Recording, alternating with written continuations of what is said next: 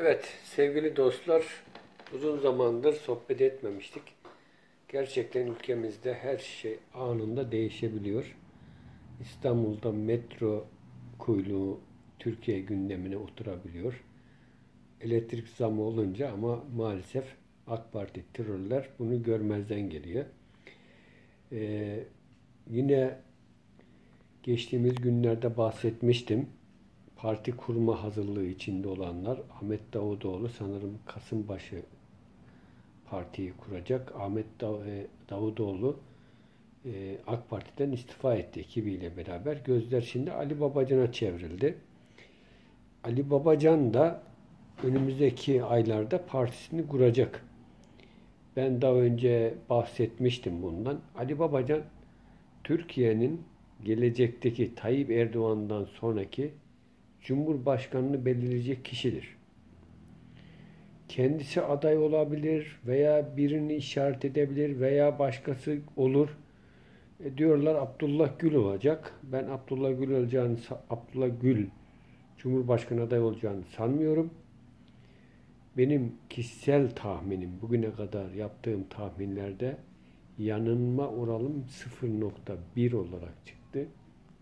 Seçimler boyunca Hatta e, mali seçimlere 6 ay kala İstanbul ve Ankara'nın CHP hayırlı olsun diye bunu sosyal medyadan yazmıştım. Çünkü Sayın Cumhurbaşkanı'nı yanlış yönlendirildiğini izah etmiştim. Ama AK Partililer bazı içinde bu AK Parti'nin içindeki de AKP'liler var. Mesela biz deriz ki ülkücüden geçinen ülkücüler. İşte bu AK Parti'nin içinde de AK Parti'den geçinen AKP'liler var maalesef Sayın Cumhurbaşkanı'nı yanlış bilgilendiriyorlar ve bu yanlışlıklar doğrusunda İstanbul, Ankara kaybedildi. Gelelim Ali Babacan'a. Böyle dağ, dağılıyor konu. Ali Babacan Türkiye'nin gelecekteki yani 2024 veya 2025 veya 2023'deki Cumhurbaşkanını belirleyecek. Ali Babacan da olabilir, Ali Babacan'ın işaret edeceği kişi de olabilir. Ben Ekrem İmamoğlu'nun Cumhurbaşkanı aday olacağını inanmıyorum. Ekrem İmamoğlu sadece bir Büyükşehir Belediye Başkanı adayı olarak İstanbul için çıkarıldı ve o görevini tamamladı. Onu e, Cumhur Türkiye Cumhuriyeti'ne Cumhurbaşkanı adayı olarak göstermezler. Ekrem İmamoğlu'nu bunu hep beraber göreceğiz. Efendim diyeceksiniz ki sen Marmaris'e yerel bir gazete çıkarıyorsun. Bunları nereden biliyorsun? Bunları nasıl yorumlayabiliyorsunuz? Efendim 50 yaşındayım. 14 yaşında siya siyasetle uğraşan birisiyim. Siyasete içinde yer almışım. Ülk Ocakları'nın daha önce ismi Bizim Ocak'tı. Bizim Ocak'tan Ülk Ocakları ve Milliyetçi Hareket Partisi'nde uzun yıllar siyaset yaptım. Ve halen de halkın içindeyim ve 25 yıldır gazetecilik yapıyorum. Biz insanların gözüne baktığında bizden ne isteyeceklerini biliriz. Demirel'i örnek alırım, Alparslan Türkeş'i örnek alırım siyaset olarak. Demirel'in uslubunu çok iyi takip ederim. Sayın Türkeş'in de devlet adamlığını gençliğimde örnek almıştır. Bugün de Devlet Bahçeli'nin de Sayın Bahçeli'nin de devlet adamlığı önemlidir, tartışılmaz. Ama e, AK Parti'ye destek verdiğimiz için bizi eleştirenler çoğunlukta bu AK Parti bugün var yarın yok ama Türkiye Cumhuriyeti'ni ayakta tutmak gerekir. Ayakta tutmak için de AK Parti'ye destek veriyoruz. Bundan dolayı destek veriyoruz. Ama önümüzdeki süreçte AK Partililerin kendi ayaklarına sıktıkları için bunlar erimeye başladılar. Erimeye devam ediyorlar. Bunları biz de kurtaramayacağız. Kimse kusura bakmasın. Yani ben burada 25 yıllık gazeteci, gazetecilik yapıyorum. Sen AK Parti daha yerel seçimlerde gazeteme abone oldu.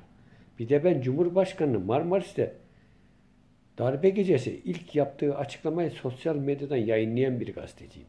Daha bir AK Partili arayıp beni 15 Temmuz etkinliklerine, anma programlarına davet etmediler. Etmiyorlar.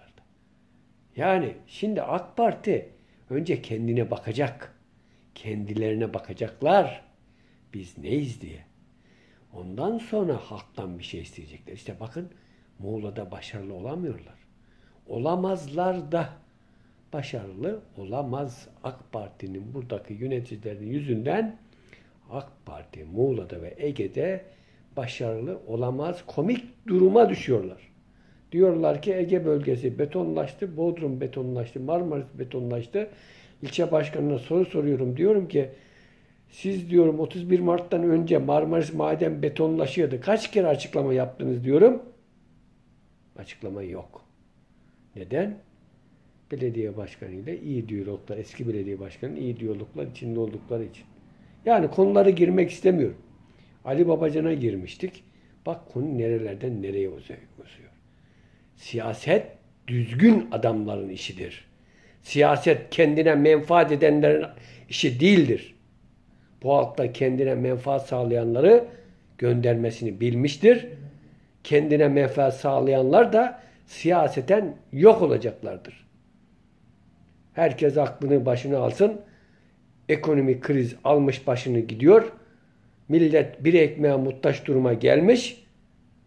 Türkiye'yi Takvim Gazetesi'nin, Güneş Gazetesi'nin A Haber'in yalan haberleriyle, balon haberleriyle gündemi meşgul edemeyiz.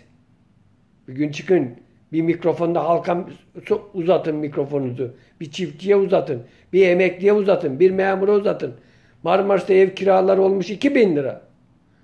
Neden bahsediyorsunuz efendim siz? Neden bahsediyorsunuz? Sıkıntı almış başını gidiyor. 50 liraya aldığımız gazete topun, topu bugün 120 lira olmuş. 2 yılda. Siz ne yapıyorsunuz? Bunları Sayın Cumhurbaşkanı'na gerçekleri anlatın kardeşim. Saklayın, saklayın, saklayın. Nereye kadar saklayacaksınız? Artık buramıza geldi. Halkın artık burasına geldi. Bir an önce son 4 yılınız var. 4 yılınızda ülkeyi düzlüğe çıkarın. Tamam otoyol lazım, havalimanı lazım. Yapacaksınız tabii ki bunları. Devlette devamlılık vardır. Ama yolsuzluğun önüne geçin. Rütük'ten üyeler bilmem ne para almış. Danıştay karar vermiş. Yazık değil mi kardeşim? Yazık değil mi? Dul ve yetimin hakkını peşkeş çekiyorsunuz. Göz yumuyorsunuz. Yazık değil mi? Herkes aklını başına alsın. Türkiye Cumhuriyeti'nden başka Türkiye Cumhuriyeti yoktur. Milleti yaşat ki devlet yaşasın.